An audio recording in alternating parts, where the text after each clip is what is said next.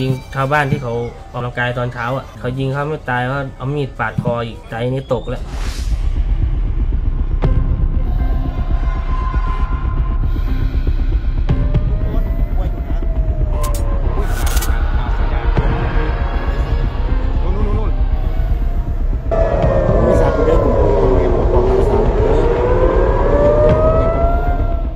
เช้าเลยนะครับ ก็นอนอยู่ได้ยินเสียงระเบิดดังเลยลุกมาดูเขาก็ออกมาดูกันทั้งหมดพอดูไปสักพักแล้วก็มีเสียงปืนภาคพื้นดินมาเราก็เริ่มหลบแล้วเพราะว่ามันเข้ามาใกล้บอกให้กันหลบเตรียมเอกสารติดตัวไปเอกสารสำคัญทุกอย่างอย่าทิ้งไว้ในห้องก็พาไปหลบในป่ามะเขือเทศใกล้ๆแคมป์ก็หลบอยู่จนถึงประมาณบ่ายสามโมงเย็นอะมันก็มันก็มีเดินเข้ามาเดินเข้ามาใกล้ ๆ ก็มี แต่เราไม่ส่งเสียงเรานอนนิ่งเลยกลางคืนก็มาอีกแต่มันยิงกันเรื่อยๆนะ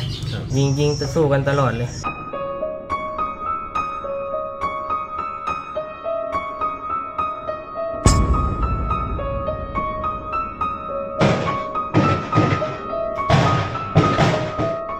ส่วนมากมันจะยิงอยู่หน้าถนนหน้าแคมป์ก็ห่างจากที่ผมอยู่ประมาณ 30 เมตร ยิงชาวบ้านที่เขาออกกำลังกายตอนเช้าอะเขายิงเขาไม่ตายเขาเอามีดปาดคออีกเห็นอยู่แอบมองอยู่แอบดูอยู่ ตอนนั้นเป็นยังไงพี่กลัวไหมกลัวครับกลัวกลัวมาก ใจนี่ตกแล้วกลัวมันเข้ามาหาเราด้วย คิดเหมือนกันถ้าถ้าเข้ามานี่จะไปหลบตรงไหนจะทำยังไง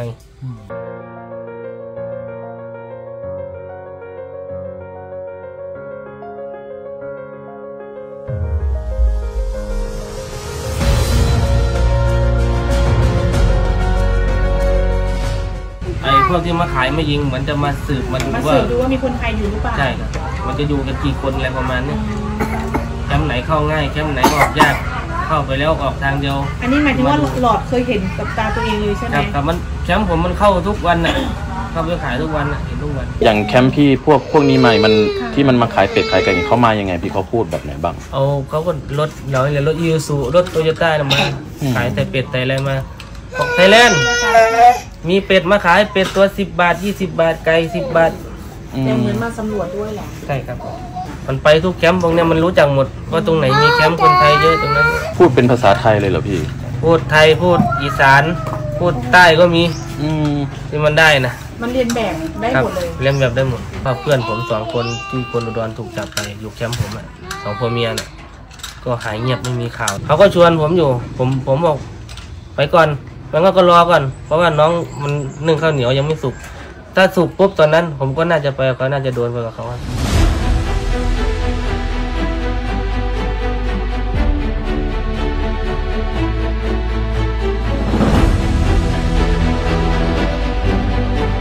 ตอนตอนแรกเลยตอนที่เจอก็เรียกหาปู่ย่าตายายก่อนเลยไปคุ้มครองลูกหลานก่อนเลยก็เรียกหาก็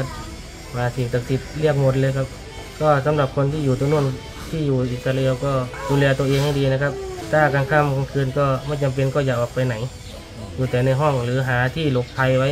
เผื่อเหตุมันไม่ได้บอกเราว่ามันจะเกิดแล้วนะ มันไม่ได้บอกนะครับ มันมาก็คือมาเลย เราต้องตื่นตัวเตรียมตัวไว้ตลอดเราจะล่าใจ